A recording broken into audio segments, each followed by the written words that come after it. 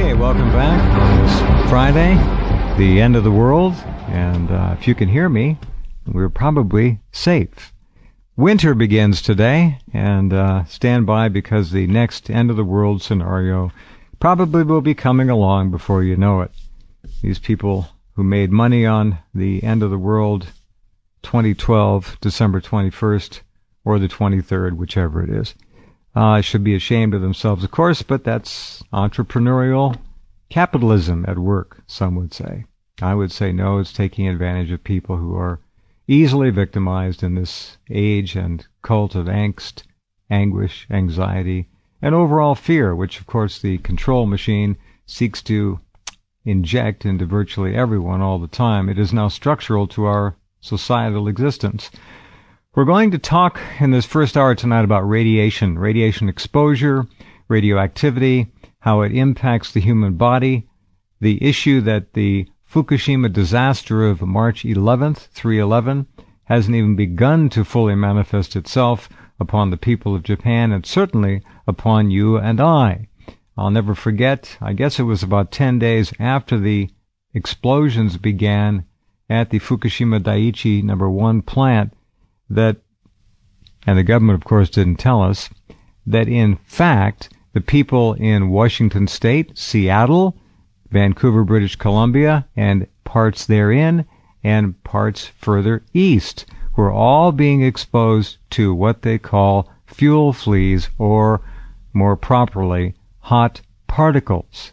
The average Seattle resident who went outdoors during a period of time shortly after 311 inhaled, according to Arnie Gundersen, approximately an average of six hot particles a day. That means those particles went into those people's bodies, into their lungs, and did not come out. We can also call them internal emitters. And ultimately, the only outcome of radioactive internal emitters is cancer. To one degree or another, sooner or later, can your body beat it back? Maybe. Can you do things nutritionally to help? Probably. Will you? No. Very few will. I would urge you to take turmeric. Uh, it's a, a very very good product. By the way, in the radiation box at the center column of rense.com is a very important interview I did with Dr. Russell Blaylock, and he lays out his nutritional guidelines for helping to mitigate the effects of inhaled or exposure to radiation. By the way, the difference in internal exposure and external exposure is, is, is interesting. We'll find out if there really is much of a difference. Our guest this hour is Mr. Paul Zimmerman, who is quite an expert in this field. Uh, the central thesis of his presentation is going to be that the science of radiation effects and radiation safety is a fraud. At least in case of environmental releases of radiation, the science was crafted to protect the development of nuclear weapons and the operation of commercial nuclear reactors, not to protect you and me from radiation illness. And as you know by now from listening to this program, every nuclear power plant releases radioactivity every day. And we could talk for a long time on that and probably will again in the future. Paul, welcome to the program. Forgive the long introduction. Uh, thank you, Jeff. I really appreciate the opportunity to finally get an opportunity to talk to you. Well, that uh, I know many of your guests before have complimented you, and I'd like to uh, add to that that um, uh, you have kept the issue of Fukushima on the front cover and uh, continually uh, popularize it, popularizing it, and uh, it's really a tribute to you and a service to all that go onto your website. Well, thank you. I, am I'm, I'm honored to be able to do it. Um, I am disgusted beyond words and at, at the disgrace that this country uh, has become in terms of guarding and protecting and informing its own. The lies of the EPA and other government agencies in charge of protecting our health are monumental.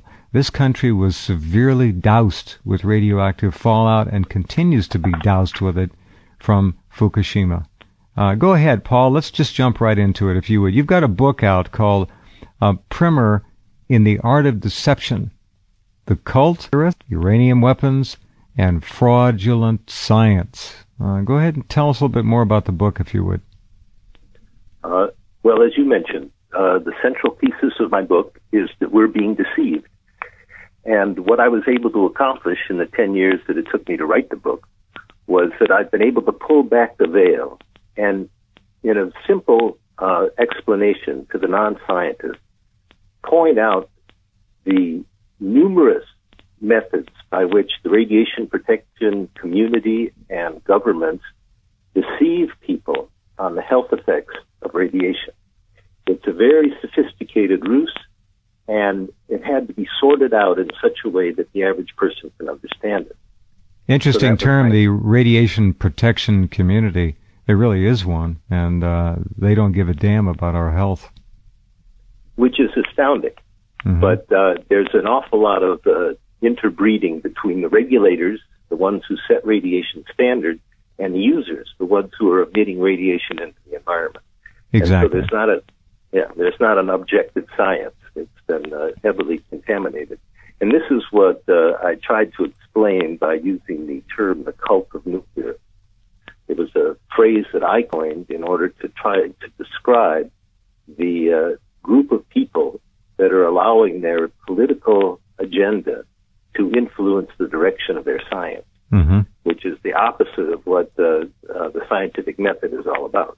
Anything it, it, but objective. Yeah, it has been politicized and corrupted by big money to the extent that really calling it science is doing it a favor. It's not. Uh, it's it's a it's a fraud, as you point out. I'll never forget. And one more little quick anecdote, as as you know, and many of you listening may remember, that right after the nuclear disaster at Fukushima, within weeks, the highest readings in the U.S. you would expect to be right on the West Coast. No, the highest readings in America were registered in Boise, Idaho. The jet stream went over, up, and down right through Idaho. And what did the EPA do? Did the EPA spruce up its radiation station they had there?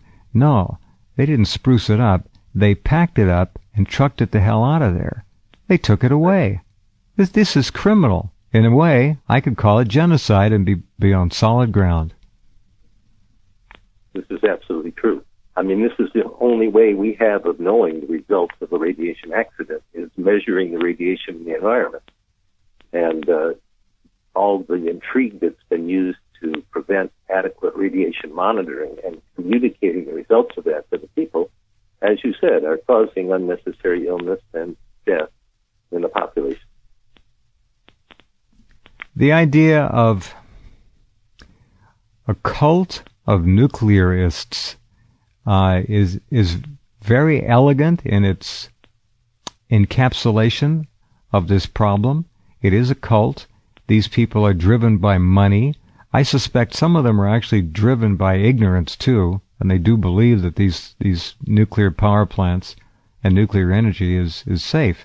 Nothing could be further from the truth. If we had gone about to try to invent and devise a means to irrevocably and permanently destroy this planet in terms of radiation, we couldn't have done a better job than the way we have gone about it with nuclear power plants and the non-issue, the non-storage issue. No one talks about of all the spent fuel rods. And we know about this. These things are never going away. They're sitting at every damn plant that's ever used them or, or, or maybe a nearby collection point, but they're, they're all there. Um, the one thing that you did mention, though, was nuclear weapons. Oh, yeah. Behind all of this facade, sitting very silently, is the proliferation of nuclear weapons and the protection to keep people from revolting against the whole powers that be by uh, deceiving the population as to radiation effects. And we're going to get to a point where either through limited nuclear war or a terrorist attack with nuclear weapons, we're going to be told, oh, there's no problem, the radiation is minimal. Those weapons will be used because of the general uh, denial of radiation effects, which has been perpetrated through the last half century. Exactly. Yeah, exactly right. And this is the same thing with uh, uh, depleted uranium weapons. That the uh, United States used those with abandon in the wars of the Middle East, and uh, very successfully denied to the public that there was any health hazard involved. And you had guardian institutions around the world, the World Health Organization, the Royal Society, the International Atomic Energy Commission, and mm-hmm. on and on and on and on, mm-hmm. uh, putting out uh, false reports that depleted uranium is not a hazard to health. It doesn't cause cancer. It doesn't cause uh, kidney damage, what, which was um, traditionally what was thought contamination with uranium, and thus it's no problem. But they succeeded in that conclusion only by denying a tremendous amount of new research that's been generated since the first Gulf War. But that's one of the many scams. You just turn away, you don't acknowledge the research that goes against your agenda.